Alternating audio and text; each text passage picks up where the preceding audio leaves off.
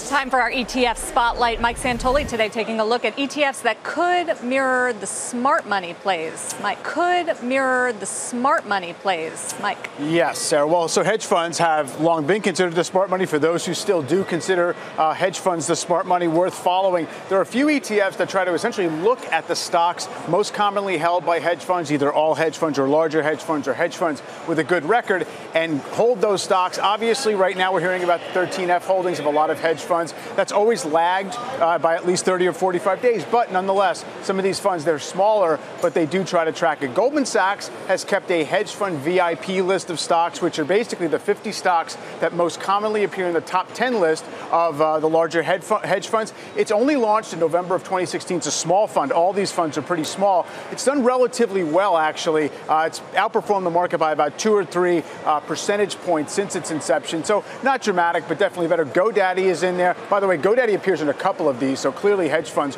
are the main holders there. Very tech oriented otherwise, uh, even besides that. Another one is the Global X Guru Fund. Guru is uh, also the ticker there. A little more diversified, very similar methodology. It's been around a little while longer done okay. Uh, a lot of energy in some of the uh, top holdings here, as well as Herbalife, which of course is an interesting battleground stock for some hedge funds. Finally, uh, Alpha ALFA is an AlphaClone alternative uh, ETF. This one is very biotech heavy. I think they look at uh, hedge funds that have a really blockbuster record over time, which of course means uh, kind of you know hitting the lottery with some big biotech. So this one is a lot of small biotechs in, in small increments, held like one or two percent each. I mean, the obvious question is, are they all operating on 45 day delay. Exactly. I mean, you're basically only as good as the information that feeds in, which is at minimum 45 days late, and you don't know what they're doing in real time.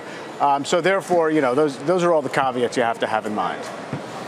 Are they performing outperforming actual hedge funds? They they've outperformed over the last couple of years by a little bit. So it's not again, it's not anything dramatic. And actually, they had a great run in 2014, back when activists were really uh, in their heyday. They did very well. Since then, it's been mixed.